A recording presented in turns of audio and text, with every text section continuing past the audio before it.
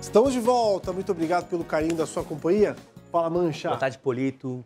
Pra galera que tá em casa com a gente. Surgiu uma pergunta aqui no intervalo. Vou dividir com você e com a galera de casa. Os murais vão ser refeitos. Sim. Depois da reforma dos prédios, né? Eles, será que eles serão exatamente iguais ou os artistas terão uma liberdade de mudar algum detalhe? E agora? Boa pergunta, vamos descobrir, vamos tentar descobrir. Eu acho que eles vão trazer essa, essa vão dar uma nova roupagem amanhã pra galera. Vou tentar descobrir, vou ligar Mas pro Valde. eram lindos como eram, né? Com certeza. Tá, não podem ficar brancos os prédios lá, tem que estarem pintados que ficam muito mais lindos. Bonito, segunda-feira a gente já começa a projetar aí a semana que tem muita coisa legal. Abril começando, mas temos também uma história de uma aventura. Vamos começar com isso? Vamos. Olha então essa aventura. O manezinho Gustavo Queiroz, o Gus, partiu hoje da Barra da Lagoa em direção ao Alasca, o gelado estado norte-americano. Com esse desafio, ele quer entrar nas páginas do Guinness Book, o livro dos recordes. E sabe qual foi o veículo escolhido para essa missão? Espera aí que o próprio Gustavo conta pra gente. Chega aí, Gus!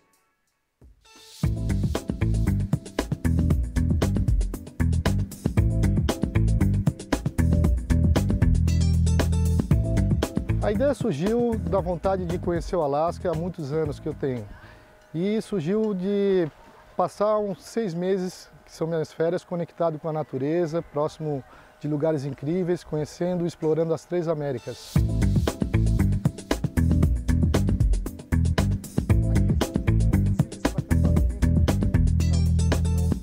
Eu sempre andei de motos e scooter, é, faço aventuras pelo Brasil e pelo mundo de, de diferentes formas, é, de veleiro, de barco. E a ideia de ir para o Alasca de scooter surgiu porque é uma forma de, de, me conectar com a natureza, de estar perto do é, próximo de lugares legais, de praias.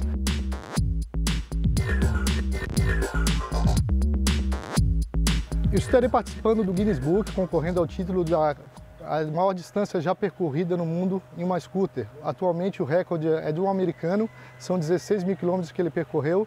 Então quero trazer esse título para o Brasil, para Santa Catarina, para Floripa aqui, de onde eu sou. E vamos comigo aqui, acompanhe essa aventura aqui, me sigam nas redes sociais, flori, arroba Alaska de Scooter.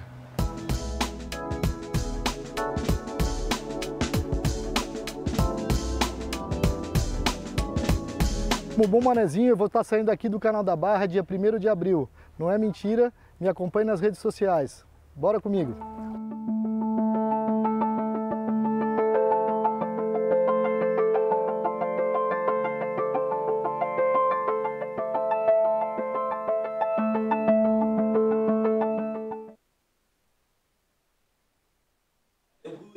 Viagem agradecer o Marcelo Febre e a Duda que fizeram essas imagens e mandaram aqui pro Jaé Mané. Olha só, nossa dica, de, nossa dica de cinema é a terceira edição do Festival Inflamável, que começa essa semana no SIC. O Matheus Alves tem mais detalhes.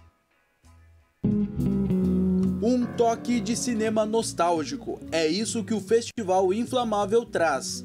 Da próxima quinta-feira até domingo, o Centro Integrado de Cultura vai receber a terceira edição desse evento, que procura destacar produções em Super 8 e 16mm.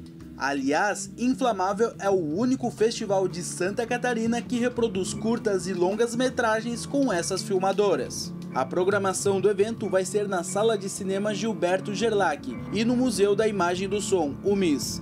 O destaque vai ser a estreia do longa-metragem documental argentino El Pensamento Analógico, do diretor Paulo Pécora.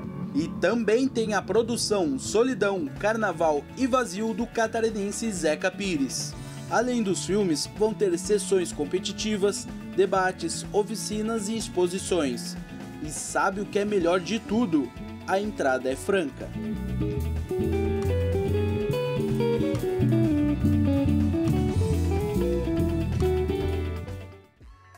Legal demais, com certeza passarei no SIC para curtir algum desses filmes do Festival Inflamável. Ó, na próxima quinta-feira, dia 4, tem lançamento literário na Fundação Badesc. É o livro Ambientalha, terceira obra de poesias do escritor Álvaro Vandeli Filho, um carioca radicado na ilha. O evento é gratuito, começa às sete e meia da noite e vai ser uma grande homenagem ao autor que faleceu no último dia 17 de março aqui desse ano, vítima de câncer. Tá aí o Álvaro na tela do Balanço Geral. Ó, já começou a contagem regressiva para o show Boate Azul, que vai rolar no próximo sábado, dia 6, na Arena Opus, em São José. As duplas Jean e Giovanni, Giovanni e Edson e Hudson já percorreram o Brasil com esse espetáculo, estão percorrendo desde 2023. O show começa às 11h30 da noite e invade a madrugada de domingo. São quase três horas de apresentação e uma média de 50 canções. Ingressos no site uhu.com. E atenção você que é assinante do Clube ND, tem 30% de desconto no valor do ingresso. Aumente o som! Mas não sabia que comigo paixão. E logo se aconchegar em outros braços, sair contando os passos, me sentindo tão. Galera aqui no estúdio cantou, hein? Tá conhecendo aí o trabalho do Jean Giovanni e do Edson Hudson.